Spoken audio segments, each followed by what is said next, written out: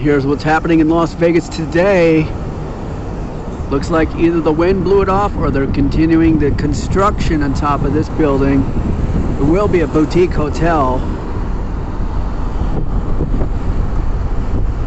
Leave a comment below. Let me know what you think. Have a good day.